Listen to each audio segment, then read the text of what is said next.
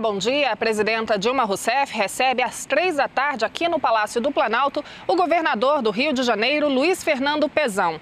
E logo mais às nove e meia da manhã, aqui em Brasília, começa a quarta reunião de ministros do Comitê Executivo da Agenda Nacional de Trabalho Decente.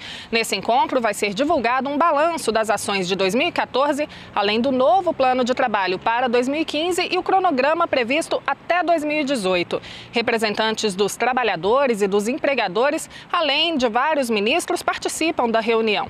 A ideia, segundo o governo, é ampliar o diálogo com a sociedade e garantir os direitos trabalhistas.